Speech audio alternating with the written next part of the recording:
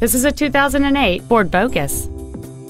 Complementing this Ford's contemporary styling is a stunning array of desirable features, which include power windows, air conditioning, satellite radio, three-point rear seatbelts, and this vehicle has just over 42,000 miles.